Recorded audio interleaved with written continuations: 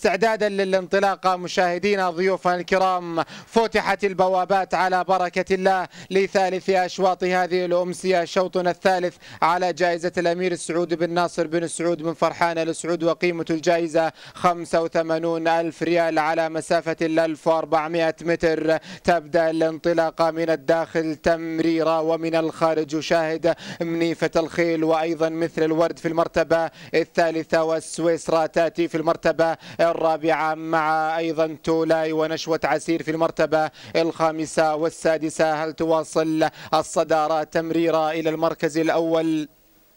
لتصل إلى خط النهاية وهي في قمة العطاء ولكن مثل الورد قادمة مع عبد الله الفيروز في المرتبة الثالثة. ما شاء الله تبارك الله وملكة جواد تأتي في المرتبة الثالثة من الداخل. تنتظر فتح المسار مع كذلك أشاهد تفتخر تأتي في المرتبة الرابعة. ال 400 متر الأخيرة اللحظات المنتظرة. تنطلق مثل الوردة من الخارج في المرتبة الثانية مع منيفة الخيل تأتي في المرتبة الأولى. منيفة منيفة تأتي تأتي في المركز الأول في ظهورها الخامس تأتي منيفة بجوارها مثل الورد بمقاسمة على الصدارة. مثل الورد قادمة ومنيفة الخيل بقوة إلى المركز الأول منيفة ولكن الدخول قادمة أيضا من سلك الحرير. مثل الورد مثل الورد على خط النهاية ولكن منيفة الخيل هي الأقرب للانتصار. ما شاء الله تبارك الله.